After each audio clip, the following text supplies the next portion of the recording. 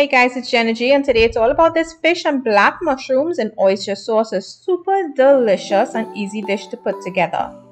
So I've got my fish already cut into pieces. I am using mahi mahi that was caught by the husband but if you don't have mahi mahi, I highly recommend any firm type of fish and just cut it into chunks. Now to this, I am going to be adding some JGM Products Chinese seasoning, some soy sauce and some ground chilies. So the ground chili, depending on how spicy you want, you can adjust that. And remember, when you're using soy sauce, I'm using dark soy sauce. The salt content or sodium content in that, along with the Chinese seasoning, you want to just be mindful of those. You don't want an overly salty dish at all. So once we are ready to cook this, once everything has been mixed up and looking all nice there, we're going to be heating up our oil. You can use avocado oil in a wok and I'm just going to be cooking the fish on each side until they're properly cooked through depending on the thickness of the fish. It can take two to three minutes can take more or less. So once you have them all cooked through nicely there we're just going to remove it from our wok. I'm just going to set this aside.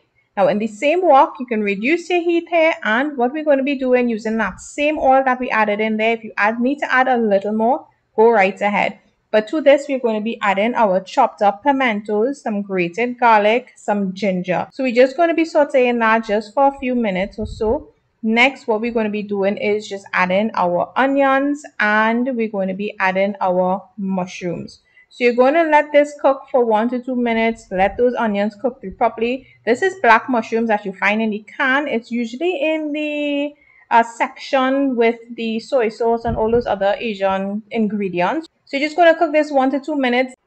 Then in goes some sesame oil. I'm going to be adding my oyster sauce to this along with some water, just a little bit. And then I'm going to be adding some of that cornstarch just to thicken it up. So adding the oyster sauce alone, of course, will be will have too much of an overpowering flavor. So I like to water it down just a bit.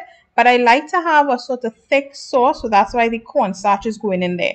So you're just going to cook this for about one to two minutes until that sauce thickens up. Once it has thickened up, what we're going to be doing is just adding back our fish pieces. Now, when you add in your cornstarch, you just want to be careful. Uh, ideally, you should mix it or dissolve it in some water before you add it into the sauce, just to make sure that they don't have clumps of cornstarch in there. I usually do a shortcut way, but it's all up to you. So add the fish pieces to it, mix it all up, guys. And yeah, believe it or not, easy, simple, delicious.